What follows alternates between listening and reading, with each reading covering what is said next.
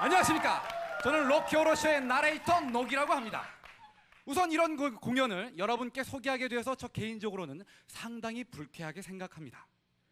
하지만 동전의 앞면이 있으면 또 다른 면이 있듯이 오늘 여러분께서는 그 숨겨진 면을 잘 가져가시기 바랍니다. Science Fiction Double Feature 무슨 뜻일까요? 네, 영어만 나오면 이렇게 여- 분위기가 한결 같아지네요. 네. 공상과학 영화, 동시 상영 영화 이 그런 뜻입니다. 대충 내용은 뻔했습니다. 말도 안 되는 괴물들과 외계인, 인조인간, 로봇, 악에 맞서 싸우는 슈퍼히어로 등등. 뭐 생각해 보면 컬트적이면서 나름 재미도 있었습니다. 오늘 밤 여러분들은 그 모든 것들을 다 느끼실 것입니다. 왜? 우리 로키 오로쇼의 그 모든 것들이 속속들이 들어가 있으니까. 네. 이 정도면 공연 보실 준비가 되신 것 같은데요. 어떻게 즐기실 준비가 되셨습니까? 네. 아, 이 정도로 가지고 시작, 시작을 할 수가 없습니다.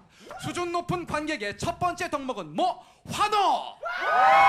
박수! 로키 오로쇼 시작합니다!